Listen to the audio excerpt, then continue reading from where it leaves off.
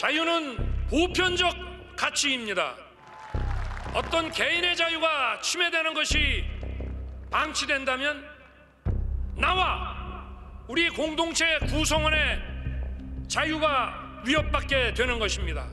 자유, 인권, 공정, 국민이 진정한 주인인 나라 반드시 만들어 나가겠습니다. 압수수색, 압수수색 압수수색했습니다.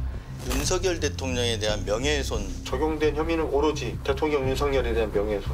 협박 미수죄라고 그러더라고요. 국민이 원하는 진짜 검찰 개혁, 중립적이고 공정한 검찰을 만듭시다. 학교 비정규직 노조와 경기도청에 흥남도 연맹 제주에서도 뉴스타파와 JTBC 본사 압수수색에 나섰습니다. 북한의 지령을 받아가지고 했다. 동시다발적으로 압색하는 선례는 아마 전두환 때도 없었을 것 같습니다. 보여주는 거죠. 까불면 죽을 수도 있다. 의심스러우면 그냥 발부하는 겁니다. 다른 사람 눈에는 이미 범죄자로 보인단 말이죠. 교도소 안에만 징역이 아니다. 사회 밖에 나가도 그런 징역 안에 살고 있는 느낌이죠.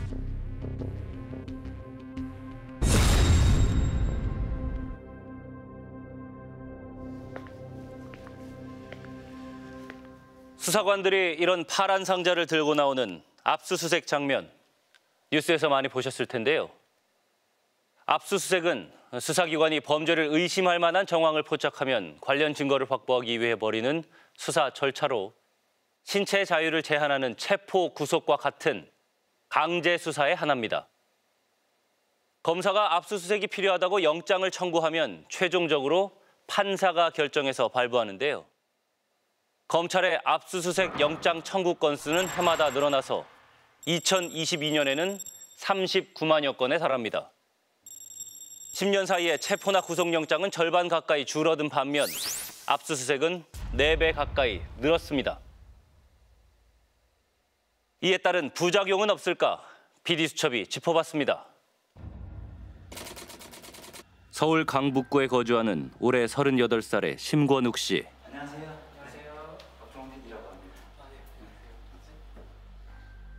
그는 두 달 전 겪은 황당한 일을 PD수첩에 털어놨습니다. 11월 28일이었어요. 이제 한 저녁 5시가 좀 넘었었는데 갑자기 벨이 울리고 누군가 문을 두드리더라고요. 그래서 그 시간에 올 사람이 없는데 누구지 해서 이제 인터컴으로 보니까 웬 남자들이 갑자기 서 있더라고요. 그래서 누구세요라고 물어봤더니 갑자기 부산경찰청에서 나왔다는 거예요. 아무런 연고도 없는 부산에서 느닷없이 찾아온 경찰. 경찰은 압수수색 영장을 제시한 뒤 곧바로 심 씨의 컴퓨터와 휴대전화 그리고 집안을 압수수색했습니다. 영장에 적시된 혐의는 협박 미수. 피해자는 대통령이었습니다. 그가 한 인터넷 커뮤니티에 올린 윤석열 대통령에 관한 이미지와 댓글 때문이었습니다. 박정희 대통령의 행보를 쫓고 있고 마침 11.6 스태니까 이제 박근혜 전 대통령하고 만나서 이렇게 참배까지 가는 그런 걸 보고 나니까 좀 욱하는 마음이 들어서 그거 하고 이제 그 글 그 그림 밑에 글을 제가 좀 적어놨었죠. 뭐라고 했어요? 총통님께서 다카키 마사오처럼 되기를 그렇게 원하시는데 결말도 똑같이 만들어드려야 이런 식으로 제가 적었었거든요. 이 글을 본 누군가가 부산경찰청에 고발하면서 수사가 시작됐다고 합니다. 저 말고도 이런 글을 쓴 사람들이 부지기수일 거라고 생각하거든요. 감정이 좀 격해져서. 그리고 인터넷 공간이니까 대나무 숲처럼 임금님기는 당나귀 귀 하는 것처럼 그냥 기분대로 이렇게 적고 그냥 지나가는 거지. 종종 인터넷에 공개된 이미지들을 활용해 정부 비판적인 글을 올렸다는 심 씨. 문제가 된 것도 그 중 하나였습니다. 하지만 영장에 적혀 있는 내용을 보면 그는 대통령을 해치려 하는 반사회적인 범죄자에 가까웠습니다. 아예 한 사람을 정말 범죄단체 수괴 마냥 묘사를 해놨더라고요. 영장에 나와 있는 또 다른 이름. 과에 대한 수사 대상자 검색 기록. 오. 아, 네네. 이라는 사람이 나오는데 아는 분이세요? 아, 이 집 집주인이십니다. 건물주 분. 저는 그냥 그분한테서 임대해서 그냥 사는 그런 임차인일 뿐인데 이 사람도 저랑 뭔가 관련이 있어서 뭐 조직적으로 이렇게 위해를 가하려는 뭐 테러 집단 이런 식으로 생각을 하는 것 같더라고요. 이 압수할 물건을 보면은 네. 이 사건 해악을 실현하기 위해 소지 소유하는 흉기 및 흉기의 완성품 및 완성을 위한 부품이라고 나와 있는데 제 집에서 사람이 쓸 수 있는 총기류가 딱 하나 있습니다. 여기 보면은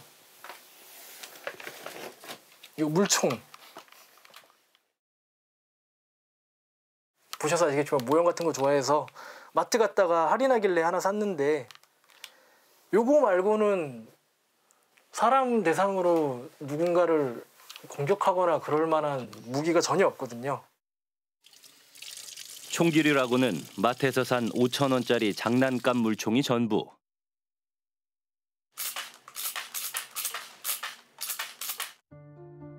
경찰은 세 평도 안 되는 원룸을 한시간 넘게 수색하고 그를 경찰서로 데리고 가 조사했습니다. 그러니까 이제 형사가 하는 말이 어 그러면 윤석열 대통령을 죽이려는 의도가 아니었냐 아, 자꾸 재차 묻더라고요. 불만은 있을지언정 그런 사건을 저지를 사람도 아니거니와 그런 의도가 있었다면은 내가 여기에다 글을 썼겠느냐 이런 식으로 이제 대답을 했었고요. 제일 어이가 없었던 부분이 당신이 이 글을 적었을 때 윤석열 대통령이 공포에 떨지 않겠느냐 이 질문을 던진 그 담당 수사관 얼굴도 봤는데 그분은 굉장히 진지하시더라고요. 댓글 하나에 압수수색 영장까지 발부된 일을 어떻게 봐야 할까? 협박 미수 좀 충격적이네요. 저 개인적으로 이건.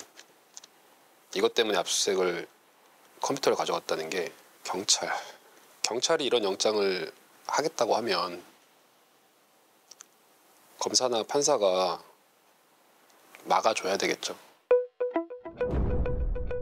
압수수색 영장은 수사기관이 검사에게 신청하면 검사가 법원에 청구하고 판사는 제출된 서류를 보고 필요성을 판단해 영장을 발부하거나 기각하는데 영장을 청구할 수 있는 권한은 오직 검사에게만 있습니다.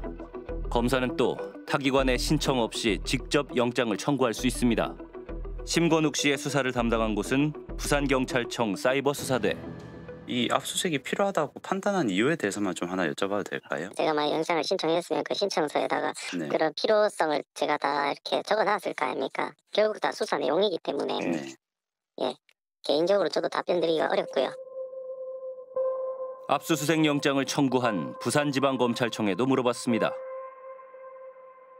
부산지검은 범죄를 의심할 만한 정황이 있어 증거 확보를 위해 압수수색이 필요하다고 했습니다. 최종적으로 영장을 발부해준 부산지방법원 판단 기준을 물었습니다. 댓글을 이제 달았다는 이유로 자택 압수수색을 하고 아마 그 댓글을 달았다는 그 하나 한 가지 말 가지고 발부를 하셨을 것 같지는 않고 아마 경찰이나 검찰에서 그 내용이 어느, 어떤 범죄에 해당을 하는 것이고 이런 좀 뭐랄까 압수의 필요성에 대해 상당 부분 어, 그 수사 기록을 통해서 아마 좀 서명을 하시지 않았을까 생각이 됩니다. 구속 전 피의자 신문이 이루어지는 구속영장과 달리 압수수색은 판사가 수사기관이 제출한 서류만 보고 판단해야 한다고 합니다. 오로지 이제 수사 기록 그 서면만 가지고 이제 우리가 판단해야 되는 그런 어려움이 있습니다. 영장 전담 판사는.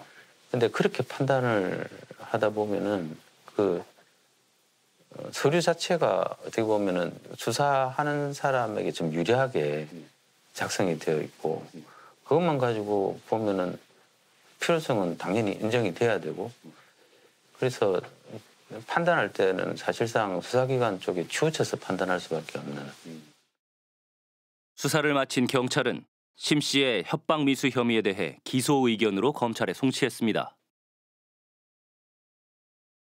네이버 회신 자료에서 확인되는 반사회적 검색어 등을 종합해 볼 때 피의자가 해악을 고지하는 것에 그치지 않고 실제로 이를 실현할 의사가 있었는지 여부를 확인할 필요가 있다.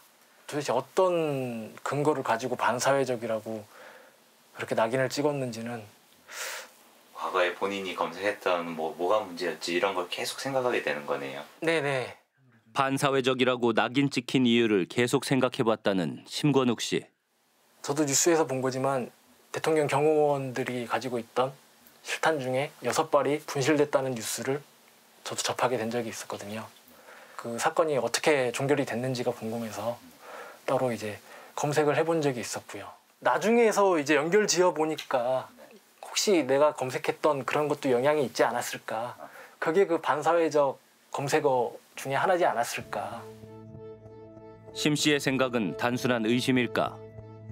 이종찬 변호사는 의뢰받은 사건 때문에 인터넷에 총포류 관리법을 검색한 뒤 용산 경찰서로부터 한 통의 전화를 받았다고 합니다. 그런데 무슨 일이시죠 라고 여쭤봤어요. 그랬더니 그 실탄이 지금 용산에서 분실이 된 사실을 아느냐라고 물어보시더라고요. 2022년 5월에 당신이 총, 총포류 관리법에 대해서 네이버에 검색을 했던 사실이 있다. 피의자 취조하듯이 취조하듯이 조금 강압적으로 거의 이제 제가 범죄를 저지른 사람인 것 마냥 확정 지어놓고 질문을 하는 태도였어요. 대통령 집무실 주위를 경비하는 100일 경비단에서 실탄 6발이 분실됐고 2022년 5월 대통령실 100일 경비단에서 발생했던 실탄 분실 사건. 사건을 수사하던 경찰은 포털 사이트 압수수색을 통해 실탄 등 특정 단어를 반복적으로 검색한 이들의 신원을 본인들도 모르는 사이에 파악했던 겁니다. 경찰은 적법한 절차였다고 답했습니다. 아 이게 제가 전화를 끊고 나서 이 영장이 발부되는 과정이 그 맞는 것인가라는 의문이 강하게 들었거든요. 수사기관에서 전화를 받는 게 개- 일반 국민들이 평생에 한 번이 있을까 말까 거의 없는 분들이 대부분일 텐데 어떻게 보면 수사 대상이 된 거잖아요. 사건을 담당한 용산경찰서 포털 사이트 압수수색까지 벌인 이유를 물었습니다. 피디님 또 군대는 다녀오셨을 거 아닙니까? 네. 군대에서도 사실 한 피만 없어져도 사실 난리가 나잖아요. 그 이유가 뭐겠습니까? 그 사실 그만큼 위험하고 사람 목숨하고 직접 결부되니까 그러거든요. 이거를 이제 문제 삼는 부분은 이게 타차를 또 하나의 방법이 아니냐. 당사자 입장에서는 이제 기분이 나쁠 수도 있겠죠. 네. 그 부분 좀 이제 뭐 경찰관 입장에서 쉽게 이제 충분히 네. 납득하는 부분이고 이해는 하는데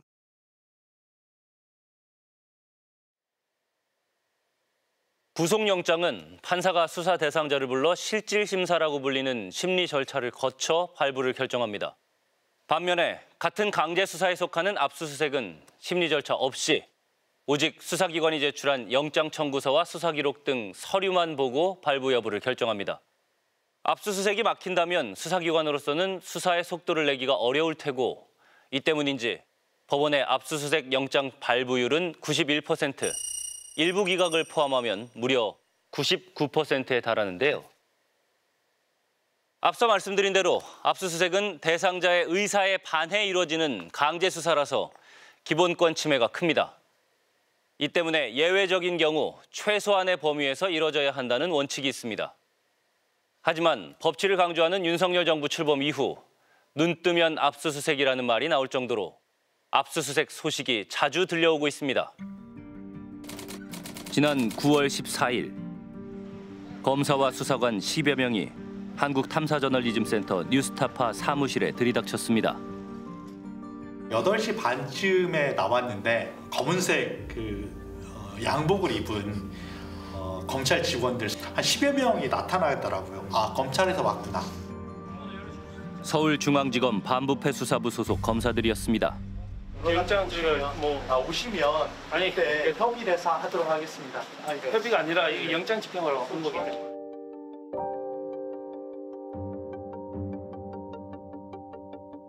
하나같이 다 마스크를 쓰고 있더라고요. 그러니까, 그러니까 딱 눈빛만 봤을 때 뭔가 범죄자 어, 집단을 대하, 대하듯이 뭐 어떤 협조 요청이나 이런 부분들도 한 번도 해본 적도 없었고 뭐 예를 들면 다 어떤 담당 기자들 뭐한테 뭐 미리 좀 요구를 한다든지 뭐, 어, 뭐 이미 제출을 요청을 한다든지 뭐 이런 것도 없이 같은 시각 뉴스타파 소속 한상진 기자의 집에도 검사와 수사관들이 들이닥쳤습니다. 수사관들은 기자 업무와 관련된 물건뿐 아니라 침실과 옷장, 심지어 중학생 딸아이의 방까지 샅샅이 뒤졌습니다.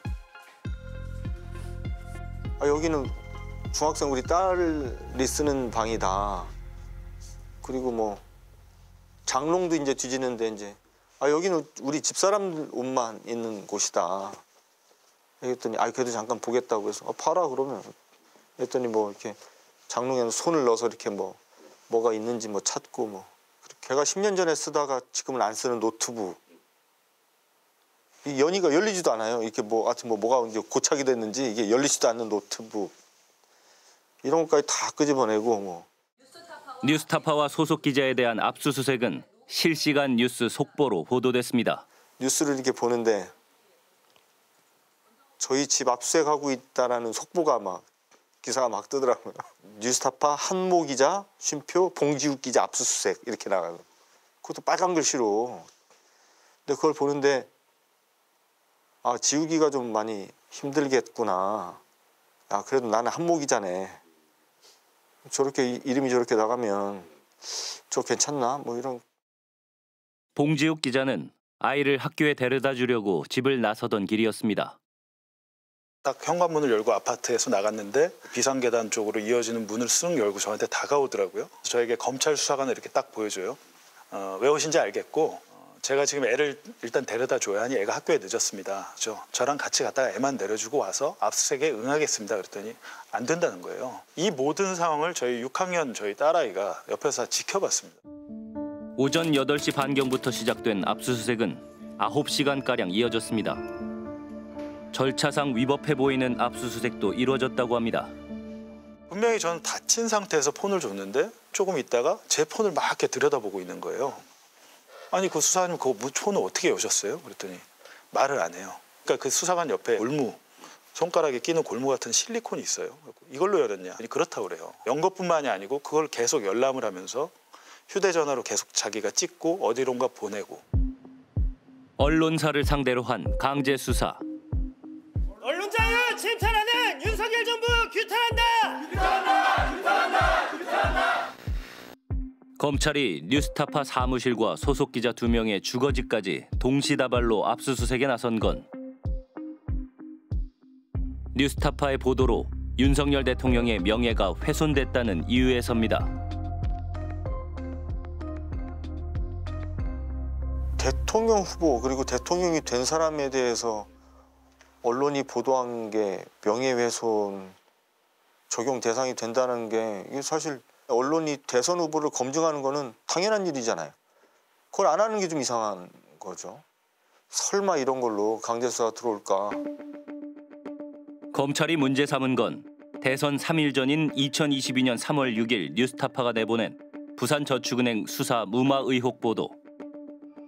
대장동 사건의 핵심 인물인 김만배와 신학림 전 뉴스타파 전문위원이 나눈 대화 녹음 파일을 공개했는데 김만배가 박영수 변호사에게 부탁해 2011년 대검 중수부 수사 대상에 올랐던 대출 브로커 조우형 씨를 봐줬다는 내용이 등장합니다.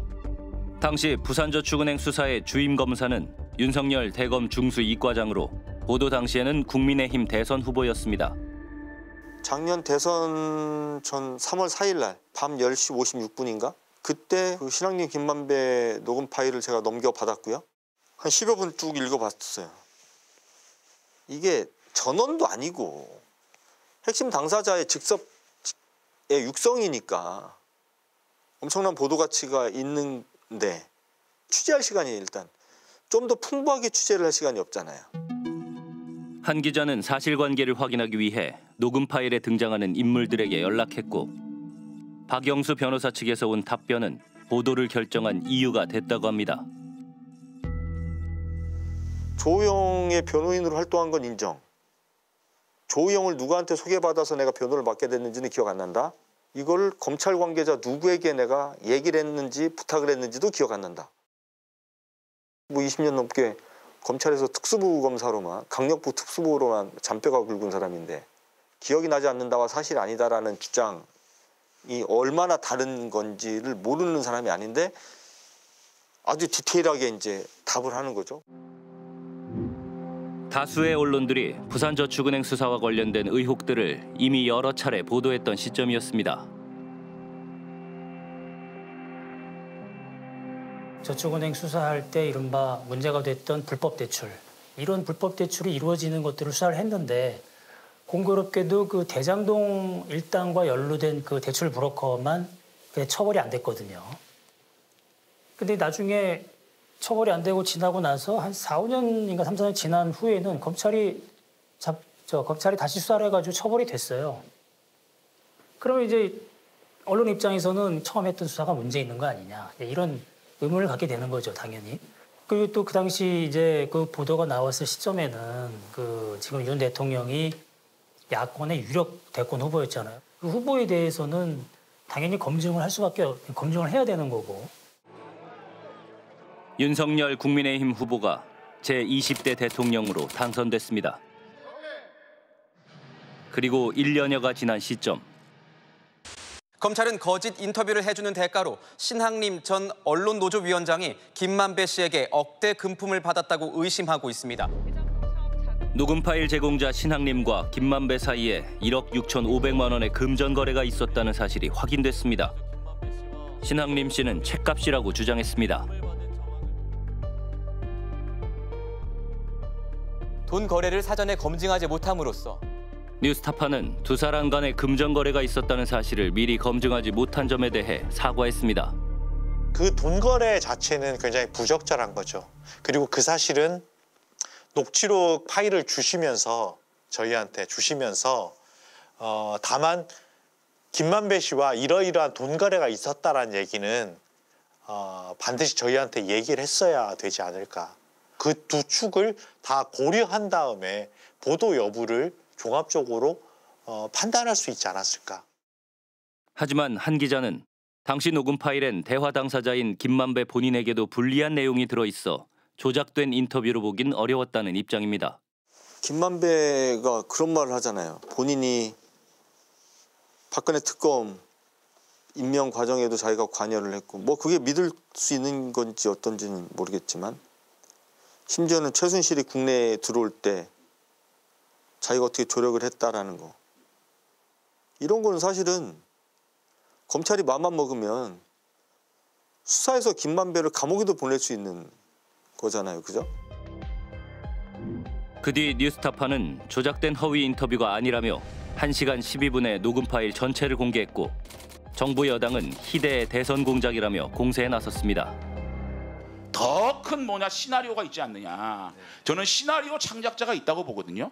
저는 이런 가짜 뉴스를 고의로 기획하고 시나리오를 만들고 행동하는 이런 매체에 대해서는 저는 폐 폐간을 고민해야 된다. 없애버려야 된다. 그것이 바로 원 스트라이크 아웃의 최종 단계입니다. 네. 말씀- 폐가 망신시켜야 된다고 봅니다. 민주공화국을 파괴하는 쿠데타 기도로서 사형에 처해야 할 만큼의 국가 반역죄입니다.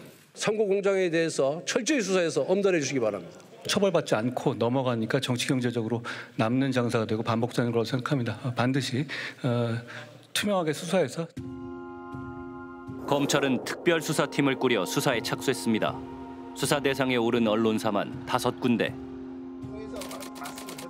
관련자에 대한 소환 조사나 임의 제출 요구 없이 곧바로 압수수색부터 시작했습니다.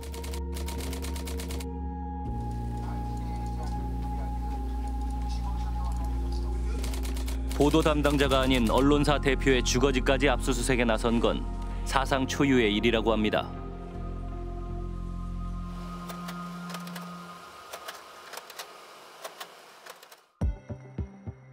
압수수색을 당한 언론사들의 공통점은 대선을 앞두고 대검 중수부의 부산저축은행 부실 수사 의혹을 보도했다는 것. 검찰은 당시 부산저축은행 수사 무마는 사실이 아니기 때문에 해당 보도들은 가짜 뉴스이며 이로 인해 수사 담당자였던 윤석열 대통령의 명예가 훼손됐다고 판단하고 있습니다. 언론사가 제기한 것은 검사들이 어떤 사건을 수사하면서 봐주기를 했다라고는 의혹에 대한 제기입니다. 그러면 검찰에 문제가 있었다는 건데 검찰이 나서서 그 문제는 없었습니다. 다 거짓입니다. 바로 압수수색 들어가겠습니다. 바로 수사하겠습니다. 당사자인 검찰이 아무 문제 없었다고 한마디로 딱 끊어버리고 문제를 제기한 언론사에 대해서 우리가 직접 수사를 하겠다. 명예훼손이다 라고 덤벼들고 이렇게 하면 당연히 이해 충돌의 문제죠. 공인의 공적 사항에 대한 공적 관심사에 대해서 의혹 제기나 의혹 보도를 하는 것은 현저히 상당성을 잃어, 잃지 않는 한은 명예훼손죄가 성립이 안 돼요. 안 될 소지가 있다 이렇게 조심스럽게 말하는 게 아니고 명예훼손이 나중에 가면 성립이 안 돼요. 예를 들어서 윤석열 전 대선 후보에 대해서 검사 시절 부산저축은행 시절 어떤 누구에 대해서 봐주기 수사를 하였다는 의혹 제기 관련 보도잖아요. 그런 보도는 당연히 해야 돼요. 언론의 책무예요. 검사들이 이걸 모를 거예요. 알죠? 압수수색 당하면 힘들거든. 나중에 5, 6년 재판을 또 질질 끌어야 되거든요. 지치게 하고 힘들게 하고 트라우마를 생기게 하는 거죠. 지난달 26일 또 한 번의 언론사 압수수색 소식이 들려왔습니다. 인터넷 매체 뉴스버스. 뉴스버스 대표의 혐의 역시 대통령 명예훼손으로 부산저축은행 수사 무마 의혹 보도가 그 이유였습니다. 네, MBC PD 수첩에서 나왔습니다. 압수수색 진행 중이니까요. 이날 검찰은 이진동 대표의 자택에 이어 뉴스버스 사무실도 압수수색했습니다. 압수수색이 진행되는 동안 뉴스버스 대표가 김만배와 수차례 통화한 뒤 허위 보도를 했다는 검찰발 기사도 흘러나왔습니다. 안녕하세요. 수첩에서 나왔습니다. 뉴스버스 사무실을 압수수색한 혐의가 어떻게 되십니까? 이미 제출 요구를 못 받으셨다고 하는데 압수수색을 할 만큼 긴급한 사안이었습니까? 답변 한 말씀 부탁드립니다.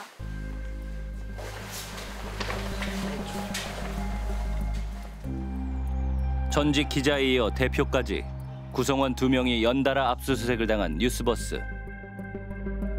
검찰은 취재 내용과 취재원 정보가 담긴 텔레그램 대화방을 3일에 걸쳐 포렌식했습니다.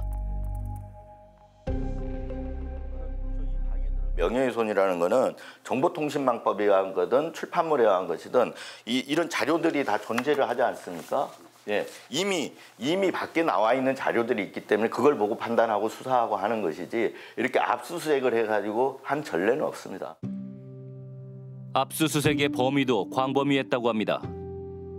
수사팀은 보도 시점과 관련 없는 전자정보까지 가져가려 했습니다. 저 뉴스버스가 언제 만들어졌냐면 2021년 어, 5월 21일인가 신문 신고 신고하고 6월 달부터 기사를 쓰기 시작했거든요. 2019년도 전자정보를 압수를 하려고 해서 제가 얘기한 게 이 사건 범죄 사실과 관련성이 인정되는 범위 내에서 가져가야지 왜 인정되지 않는 범위 내에서 가져가려고 하느냐 실갱이가 있었거든요. 대선 개입 여론 조작 특별수사팀이 꾸려진 곳은 서울중앙지검 반부패 수사부. 주로 권력형 비리나 대형 경제범죄 등을 다루는 검찰의 주요 인지수사 담당 부서로 과거 특수부라 불리던 곳입니다. 명예훼손 사건을 특수부에 한다 그러면 특수부 검사들이 좀 쪽팔, 쪽팔려 해요. 막말로 얘기하면 2001년 검사로 임관해 경력 대부분을 특수부에서 보낸 신성식 법무연수원 연구위원. 압수수색부터 시작하는 건 전형적인 특수부 수사 방식이라고 말합니다. 그래야지만 뭔가 그 다음 단계로 나갈 수가 있어요. 일단 압수수색을 하게 되면 바로 언론에 나온단 말이죠. 그러면 그걸로 인해서 바로 이게 일반인들에게 심어주는 그 인상은 아 저 사람은 죄가 있구나. 죄가 없으면 압수수색까지 들어갈까? 언론이 대대적으로 보도되면 대, 대, 보도될수록 숙수팀은 더 커져버려요. 그럼 어, 10명, 20명 이렇게 늘어나는 거라고요. 그러면 사람이 많아져가지고 여기저기 들쑤시기 시작하면 없는 죄도 나올 수 있어요. 익명으로 인터뷰에 응한 한 현직 검사는 법원으로부터 압수수색 영장을 받는 게 어려운 일이 아니라고 합니다. 압수수색 영장은 검찰이 마음을 먹으면 받기 쉬워요. 이 검찰에서 소설을 써도 몰라요. 그 영장을 발부받으면 한급이 넘는 거예요. 이 경우에 따라서 그 얻어 걸리면서 별건 수사할 수 있는 것도 있고 예컨대 불륜 그런 거 있잖아요. 이 공격 포인트죠. 그게 엄청난 무기죠. 뭐. 그러니까 이 사람은 칼을 휘두를 생각이 없어도 저 사람이 칼을 들고 있다는 걸 알고 있기 때문에 휘두를지도 모른다는 공포에 압도당하는 거죠. 외신들도 언론인에 대한 압수수색은 민주주의를 퇴행시키는 일이라며 우려를 표명했습니다.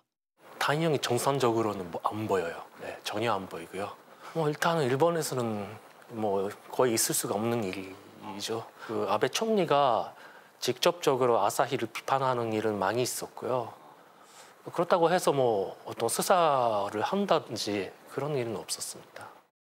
Ces enquêtes, euh, ces perquisitions, ces mesures prises par le gouvernement euh, sont pas vraiment des mesures de justice. Ce sont des mesures ou des décisions qui ont un objectif, et cet objectif, c'est de faire peur aux autres journalistes. 2021년부터 윤석열 대통령 일가와 측근들의 각종 의혹을 고발해온 민생경제연구소 안진걸 소장. 요거 같은 경우는 2021년 가을부터 양평 공지구 비리가 이제 이제 요것들은 이제 2023년도에 저 명품 수수 인사계부 요건 이제 최근에 문제가 됐던 그 이정섭 검사의 본인 비리와 그 천암 마약 수사 마약 의혹 지난 3년간 공정한 수사를 촉구하며 낸 고발장만 30여 건. 하지만 대부분은 고발인 조사조차 이뤄지지 않았다고 합니다. 김건희 여사 주가 조작 압수한 적 없죠? 소환조차 하지 않았습니다. 공공지구 사건 이 윤석열 대통령 본인 뭐 김건희 여사 최은순 장모 또 그걸 조력했다고 의혹을 받고 있는 김성교 전 양평 군수 국민의원 단 한 번도 압수를 받지 않았습니다. 필요하면 자택도 압수하는 일이 너무나 많았는데 이분들에 대해서는 단 한 번 압수액도 없었을 뿐만 아니라 휴대폰조차 경찰이 압수액 영장을 세 번이나 신청했는데 무려 세 번이나 기각을 해버린 것입니다. 아파트 개발 사업으로 800억 원대의 이익을 거두고도 허위 문서를 꾸며내 개발 부담금을 면제받은 공흥지구 개발 특혜 의혹 사건. 검찰은 대통령의 처남이자 시행사 대표인 김모 씨에 대한 압수수색 영장을 세 번이나 반려했고 경찰이 압수 품목에서 휴대전화를 제외하고 신청한 뒤에야 영장을 청구했습니다. 골프장 예약 청탁 및 리조트 특혜 이용 등 각종 비위 의혹이 제기된 이정섭 검사. 고발한 지 한 달이 지나서야 강제 수사에 나섰지만 정작 가장 중요한 증거인 이정섭 검사의 휴대전화는 압수수색하지 않았습니다. 이 조사가 다 됐는데 기소를 안 하기가 좀 못하면 아예 수사를 안 하면 돼요. 이 수사 확대를 막으면 되는 거니까. 이 압수수색을 안 하면 안 줬는데요. 무혐의가 되는 거예요.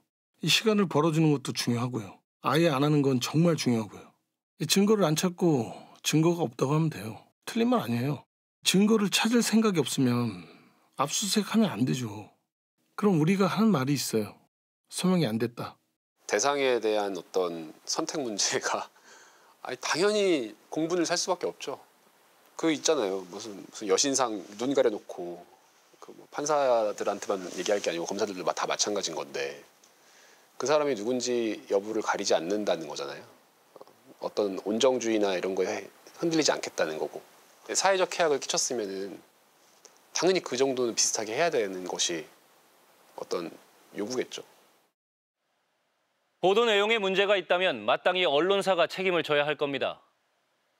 하지만 공인인 대통령을 명예훼손했다는 혐의로 이를 보도한 언론사와 기자들의 주거지까지 광범위하게 압수수색을 진행한 건 유례가 없는 일입니다. 언론의 자유는 한 국가의 민주주의 수준을 드러내는 중요한 척도입니다. 언론의 가장 중요한 역할은 권력에 대한 감시와 견제이기 때문이죠. 그런 언론의 자유가 훼손된다는 건 일반 국민들의 인권과 자유는 더 쉽게 위협받을 수 있다는 걸 의미합니다. 제주 지역 진보 정당의 전현직 위원장과 농민의 사무총장이 북한의 지령을 받고 반정부 활동을 벌인 혐의로 국정원과 경찰의 수사를 받고 있습니다. 2022년 11월 진보당 제주 지역 강은주 전 위원장의 집에 국가정보원 요원들이 들이닥쳤습니다. 국정원은 강 전 위원장이 북한 공작원을 접촉한 후 제주에 지하 조직을 만들어 친북 활동을 해온 것으로 보고 있습니다.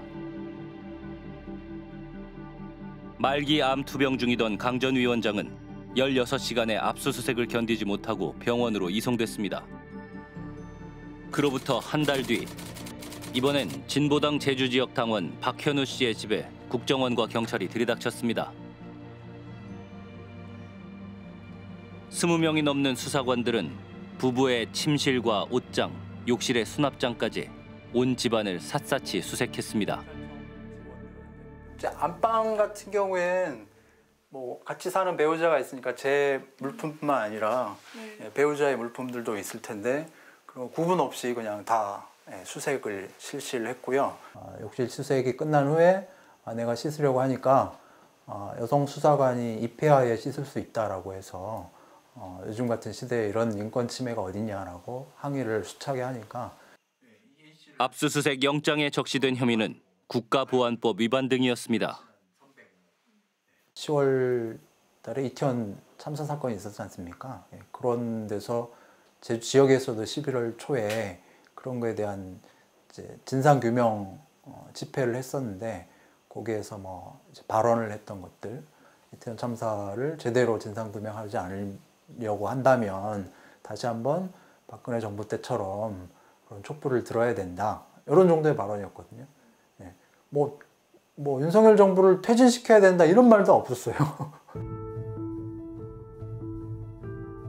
국정원은 박현우 씨가 진보정당 간부로서 해왔던 이런 활동들이 북한의 지령을 받아서 한 것이라 보고 있습니다.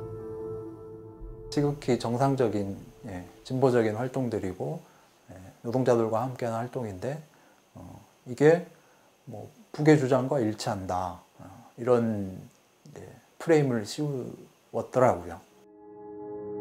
제주 지역 진보 인사들에 대한 압수수색은 계속됐습니다.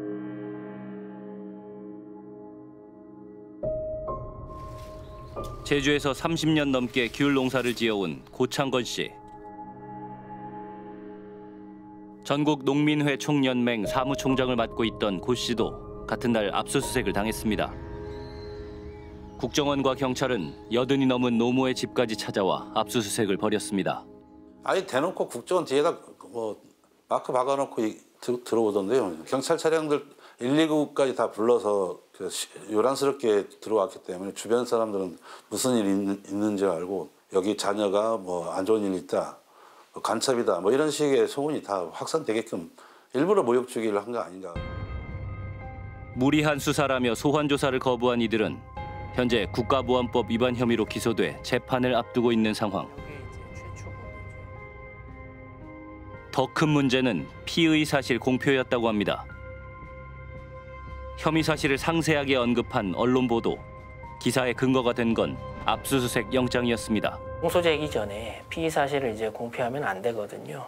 그런데 이제 그 일부 언론에서는 본지가 입수한 압수수색 영장에 의하면 어, 이런 표현이 버젓이 들어 있습니다. 이제 본인들의 범행을 스스로 자백하는 것이지요. 수사기관이 정정당당하게 어, 재판을 통해서 이들의 유죄를 입증하면 되는 것입니다.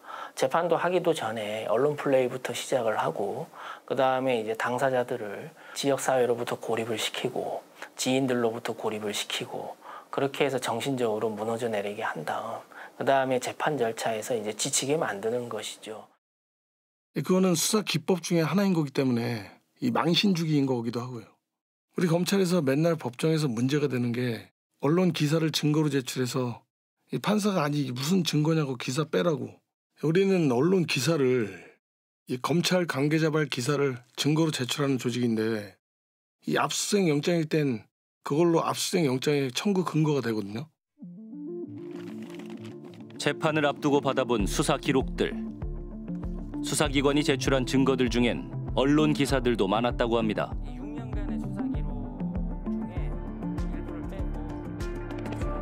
예를 들어서 북한의 어, 대남 공작기관에 대해서 이제 어, 설명하는 증거들이 있어요.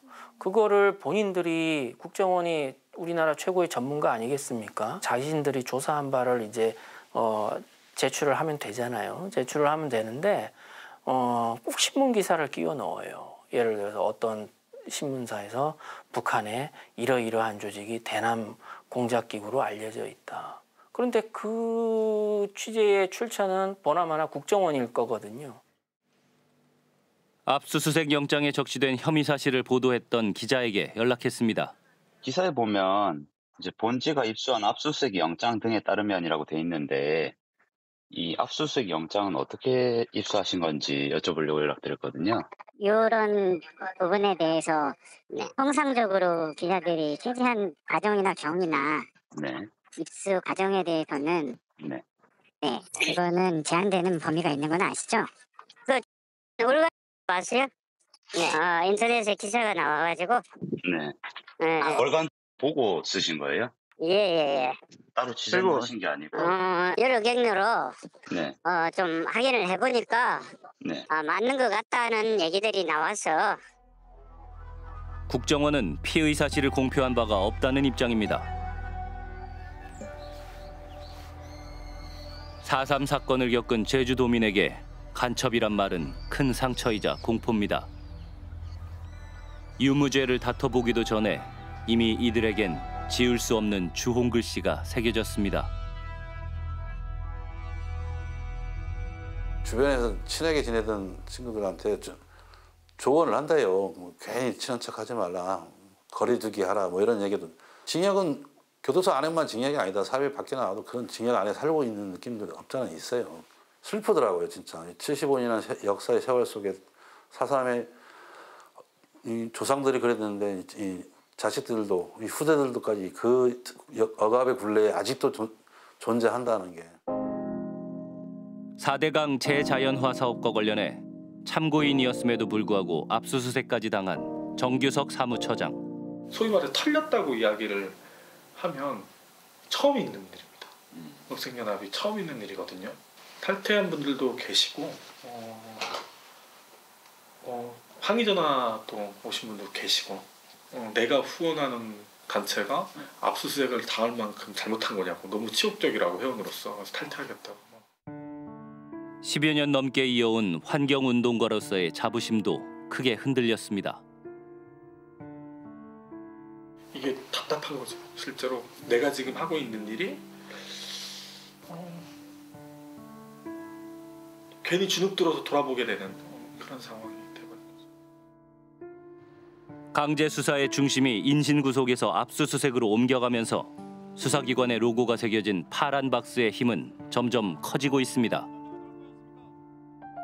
2022년 법원이 발부한 압수수색 영장은 36만 천여 건, 일부 기각을 포함하면 39만 건이 넘습니다. 10년 사이에 무려 4배 가까이 증가했습니다.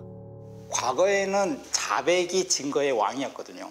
음, 그래서 뭐 자백만 받으면은 모든 그냥 이렇게 수사가 이제 뭐 수월하게 이제 진행이 됐었는데 지금은 스마트폰이 증거의 왕입니다. 이런 수많은 정보들이 저장되어 있다 보니까 수사관 입장에서는 그 정보를 하- 확인해 보고 싶은 욕구가 없을 수가 없겠죠. 그러다 보면 점점 점점 수사는 확대가 될 거고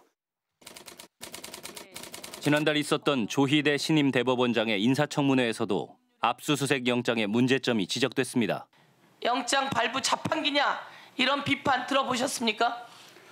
예, 저희들도 압수수색 문제에 문제가 있다는 걸 익히 알고 있습니다. 압수수색 관련해 가지고 임의적 대면 심사 제도 를 도입하겠다고 한 바가 있습니다. 대법원에서. 예, 압수수색 문제가 굉장히 이, 어, 대두가 되고 있고 또 이제 외국에서도 이미 시행하고 있는 제도이기 때문에 네. 긍정적으로 검토는 해보겠습니다. 압수수색 영장 대면 심사 제도란 수사에 방해가 되지 않는 선에서 판사가 수사관이나 참고인 등을 불러 직접 신문하는 제도로 미국이나 영국 같은 사법 선진국에선 이미 시행 중입니다. 영장 판사가 물어보는 거죠. 이게 압수수색할 사안이냐 여부부터 시작하는 거죠. 어떤 물건을 어떤 대상을 압수수색해야 되냐 이렇게 물어보는 거죠. 논문 등을 보면 거의 청문회 수준으로 이루어지는 경우도 많다. 거의 모든 주에서 이런 대면 심리 제도가 도입되어 있고 있어서 법원이 한번 여가 걸러주는 역할을 하는 거죠. 영국은 형사법에서 제가 제 기준에선 가장 선진국인데요. 엄청나게 촘촘하게 규정되어 있어요. 법으로 압수수색의 방식 절차 몇십 개의 조문으로 어떻게 해야 되고 어떤 요건에서 어떠한 절차를 거쳐서 이런 것까지 세세하게 규정이 되어 있는 거예요. 다 규정이 되어 있으니까 인권 침해가 덜 하겠죠. 요건이 까다롭고 한 해 14만여 건에 달했던 구속영장도 1997년 구속영장 실질심사 제도를 도입한 이후 해마다 감소해 2022년에는 1만 8천여 건으로 크게 줄었습니다. 지난해부터 압수수색 영장 사전 심리제도 신설에 대한 논의가 이어져 왔지만 검찰 등 수사기관은 수사의 기밀이 노출되고 증거인멸의 위험이 크다는 이유로 여전히 반대하고 있습니다. 이 공권력 행사에 있어서 수사의 편의성만 강조하는 거 첫 번째 그게 문제죠. 수사의 밀행성, 수사의 긴급성보다 헌법상 기본권이 더 중요한 거예요. 헌법상 무죄 추정의 원칙이잖아요. 완전히 반하는 거예요. 우리 사회는. 법원이 그럼 뭐하러 있어요? 한국 민주주의는 삼권 분립인데 큰 축이 법원이잖아요. 법원이 그거를 판단하는 건데 검찰의 판단에 의해서 지금 다 규정되어 있는 현실이죠. 국가 권력 중에서도 거의 아주 강력한 강제 수단이거든요.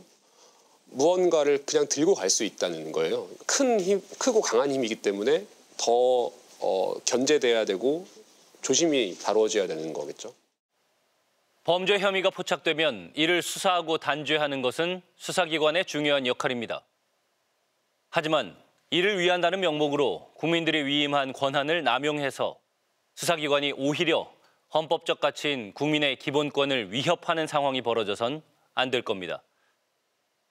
특히 휴대전화에는 사진과 동영상, 개인적 SNS 대화와 이메일, 심지어 건강 정보까지 개인의 모든 것이 담겨 있습니다. 이 모든 정보들이 현재와 같이 압수수색 영장 하나만으로 수사기관의 통제 없이 넘어가게 된다면 심각한 문제일 겁니다. 경찰의 무리한 강제 수사는 검찰이, 검찰의 강제 수사는 법원이 견제하고 감시할 제도 개선이 시급합니다. 수사기관, 특히 영장 청구의 주체인 검찰은 정의와 인권을 바로 세우는 공익의 대표자 역할도 해야 하기 때문입니다.